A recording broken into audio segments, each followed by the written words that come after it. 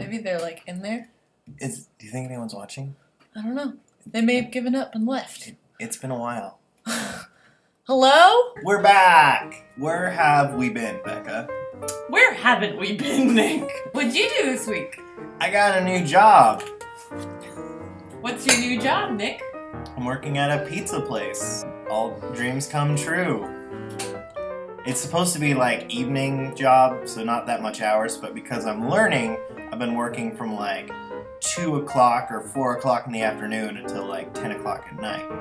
This with my normal job, which I work from like 8 to usually like 3 or 4 as um, installing hardwood floors. So tacking that on top of it, I've been working like 10 to 12 hour work days the last two or three days, and I'm going in in a couple hours to do more pizza. There has not been a lot of uh, time that I've been awake and at home to make these videos.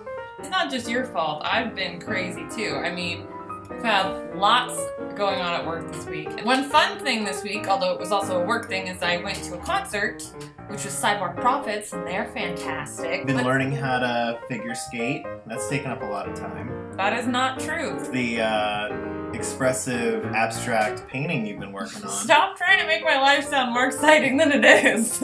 is there anything fun we've done outside of work?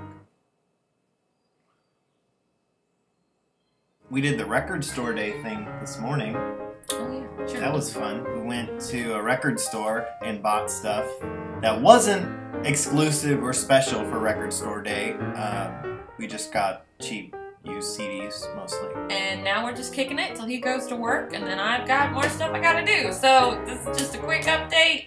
We're still here. Can you say goodbye, please? Goodbye, please.